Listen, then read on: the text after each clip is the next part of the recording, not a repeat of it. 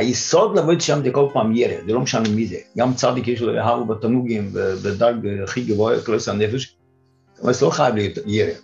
ירא זה לכולם, אחרת זה לא עבודה. באופן כלולי, זה אצל כל אדם, יש שלבים בחיים. כי כל עבוד זה השם, אם לא מישד על ירא, זה לא עבוד זה השם. שזה לא רק בכל יום ויום, כי בכלל, אלתרבה לא מדבר על כל יום ויום מועד אני, הוא מדבר בכל מצווה, כל דבר. היסוד כל פעם צריך להיות ירא. אהבה מיוסד על ירא. כל דבר שיהודי עושה, חייב להיות מיוסד על לא מה אני עושה את זה, אני לא רוצה להבין גדול את השם. כי מזבוינן, זה באמת תענוג נפלא, אבל לא מה אני עושה את זה.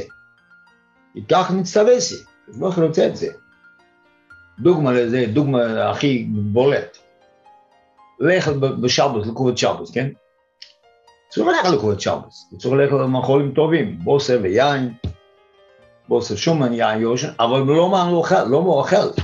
אדם לא יכול לאכול בגלל שהוא אוהב את הבוסר ואת היין. הוא אומר לקובת שבת. בצד אחד זה הפוך. הוא אוכל בשביל לקובת שבת, ואוכל בוסר ויין. שאלה מה היסוד, אם היסוד יהיה בוסר ויין, או אתם מוסיף לזה להגיד לקובת שבוס, או זה הפוך. אתה הולך לקובת שבוס, אתה הולך לבוסר ויין, אתה הולך לבוסר ויין. אבל זה לא בוסר ויין, זה קובת שבוס. אז בכל דבר ככה. אהבה זה תענוג, זה דבר טוב, אדם, אדם, שמחה, תענוג, אדם מרומם את הנפש, לא כהפך של קיבוץ.